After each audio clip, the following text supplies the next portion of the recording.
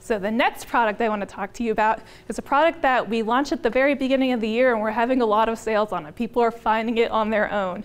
It's called a 194U. It is a non-fuse UL98 disconnect switch. And you might be saying to yourself, well, I've been buying a non-fuse disconnect switch from you before. So let's talk about that.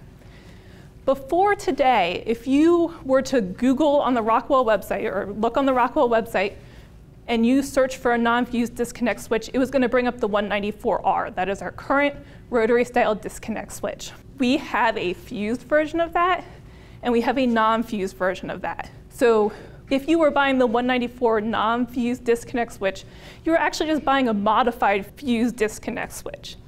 Because we have now created the 194U, we can save you a lot of panel space because we don't have a modified fused disconnect switch anymore. We have an actual non-fused disconnect switch that we're able to offer.